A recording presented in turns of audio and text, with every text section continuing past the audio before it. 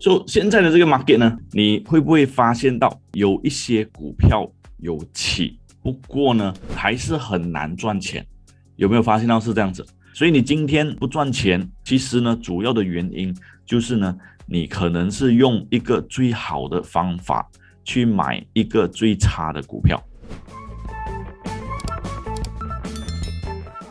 所以在这个就是讲我这个。这本书里面的其中一个 topic 啊，OK，就是这个最重要的这个 topic，叫做 Get paid holding the best stock。这一句话呢，哈，是我想了很多年的一句话。说到底，为什么这个 market 要给你钱？所以在这边，你就是要回答这个问题：到底呢，你怎么样呢？这个 market 呢，它要给你钱。所以 market 给你钱呢，是因为呢，你到底 hold 了什么东西？你拿着的股票到底是怎么样的一个股票？是不是呢最好的股票？所以在这里呢，有很多人呢，他会就是好像 example，今天就有一个朋友，他就问我，呃，Andy，你觉得这个 dialog 啊，是不是一个进场点？OK，是不是一个 entry point？OK，是不是一个 entry point？OK，你买股票赚钱是不是因为你抓对那个 entry point？是不是？你觉得呃，Apple 是不是很便宜了 Is it cheap 啊？OK，你买股票赚钱是不是因为你买到很便宜？然后呢，你觉得呃这个 example 另外一个股票 OK 是不是可以被 hold long term？OK 是不是可以 hold long term？OK，所以在这里呢有几个东西，很多人以为 OK 你买股票赚钱是因为哇你抓到那个很漂亮的一个 entry point，当然没有错，一个 entry point 是重要，不过呢它不是那个关键，你买一个。跌的股票，一直跌的股票。哎一直跌的股票，就算呢给你抓到这个最漂亮的位置，一买它就起三天五天，一买它就起三天，一买它就起三天，一买呢它就起三天，哇，你其实是很厉害嘞，你一买它就起三天，其实你可以赚钱，不过呢，可能你还是赚不到你要的那个钱，为什么？因为呢，这个不是最好的股票，这个不是最好的股票，最好的股票呢不是这样子跌这么多起这么少的，对不对？所以呢，每一次呢，你看到这个股票，哇，现在很便宜，OK，这个价钱很便宜，你看不到以后嘛，对不对？所以你看到的时候呢，它是这样子很便宜，哎，你再看到的时候呢，它就更便宜，你再看到的时候它还是很便宜，它还是很便宜，所以呢，你赚钱的话，是不是因为呢这个股票很便宜？不是，OK，不是因为这个股票很便宜，所以呢，为什么之前很多人讲，哎，Tesla 很很好的公司，因为呢，之前呢，这个 Tesla 呢，它是这样子的哎它是这样子的哎它是整个 market 里面呢跑的最快、跑的最多的这个股票，然后呢，跌的时候呢，也是算是跌的比较少了，所以呢，这个 best 你要很清楚、很清楚的去。了解什么叫做 best OK，就前几天呢，就有人讲，哇，这个股票啊，PE 啊，什么啊，是不是 PE 低的股票就是 best 的股票？OK？不是，OK？不是，就是呢，这个股票呢，要在整个市场里面，你觉得呢，跑得最快的，OK？跑得最快的，就算你没有一个 entry signal，你随便买，你随便买，你买了它马上跌。你买了，它马上跌三天；你买了，它马上跌三天，你是马上输钱的，一买就输钱。不过呢，这个股票因为呢，它就是整个 market 里面最强的这个股票，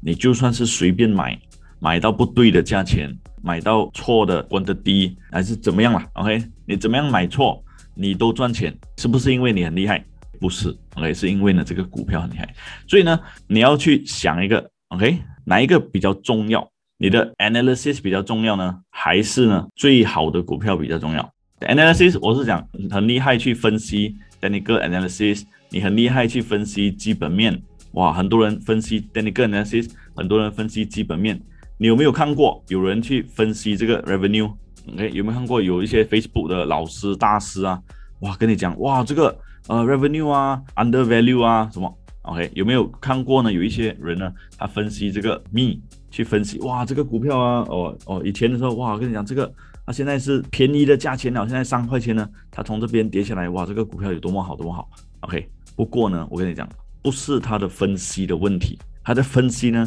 肯定是对的。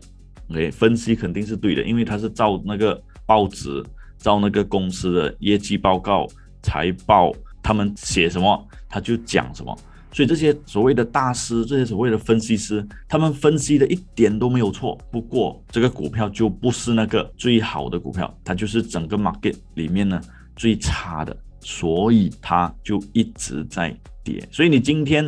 诶你不赚钱，其实呢主要的原因就是呢你可能是用一个最好的方法去买一个最差的股票，了解我意思吗？所以呢，如果你用一个最好的方法，好像这个股票这边都没有叫你买，这边都没有叫你买，对不对？这个呢是一个抓底的方法，我们叫做 bottom master。OK，如果给你去用这个抓底的这个方法，你用这个方法呢，你可以避开这一轮你没有买到，然后呢，你给你买到，给你买到了过后也是有起，不过问题就是这个不是最好的。OK，你买到了，哇，起一点点，OK，再继续的跌，再起一点点，哇，起，OK。你可能这一次赚赔上一次两次输，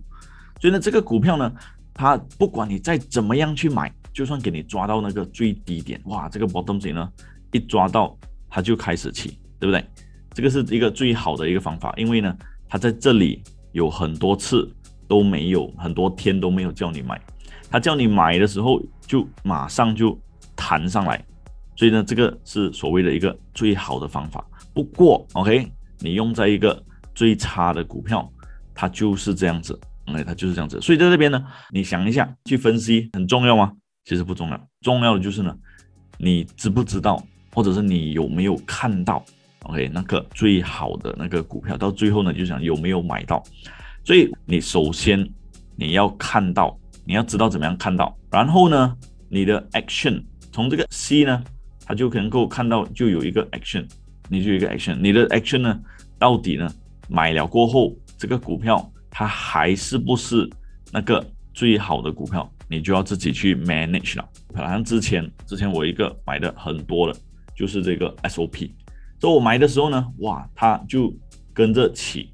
哎，跟着起。过后呢，它开始跌了，我就知道，哎，从那一刻开始，它开始跌，开始跌低过这个 top signal，它就不是那个最好的股票了。所以那种股票呢，你买了过后，它一直在起的，这个呢，它就是暂时最好的股票，对不对？它是暂时，现在它是属于呢整个 market 里面最强的、最 best 的这个股票，